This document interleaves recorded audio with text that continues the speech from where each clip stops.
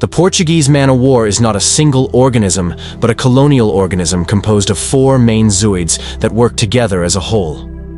Each of these zooids has its own role, but together they function for the benefit of the entire colony.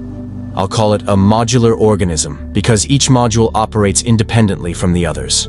The Portuguese man-o-war has no central nervous system, yet all actions are directed toward the survival of the colony. Without each other, none of these zooids would survive. The first module is a gas-filled bubble that keeps the colony afloat on the surface of the water. This bubble can expand and contract and adjust its angle, allowing the organism to drift with the wind. The second module consists of long tentacles up to 50 meters in length, covered with stinging cells. These tentacles are used for hunting, paralyzing passing prey, making them dangerous to encounter.